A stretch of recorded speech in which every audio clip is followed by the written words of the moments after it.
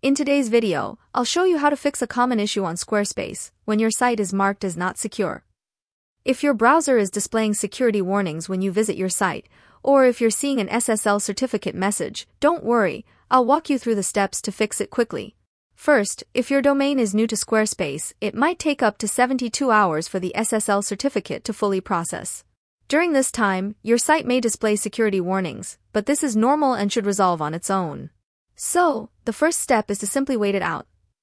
After 72 hours, head over to your Squarespace dashboard and go to the SSL settings.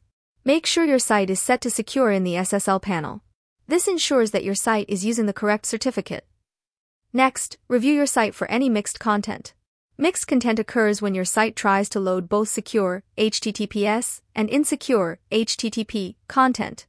Update any insecure links or images to HTTPS to avoid triggering security warnings. Finally, check that your domain is correctly connected to your site.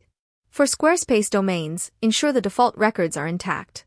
If you're using a third-party domain, double-check that your DNS records are entered correctly in your provider's account. After making any changes, wait another 72 hours for the certificate to process.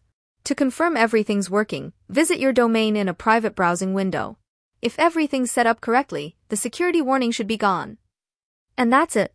If you followed these steps, your Squarespace site should now be secure and free from those pesky warnings. If you found this video helpful, please give it a thumbs up and subscribe for more quick fixes like this. Thanks for watching, and I'll see you in the next video.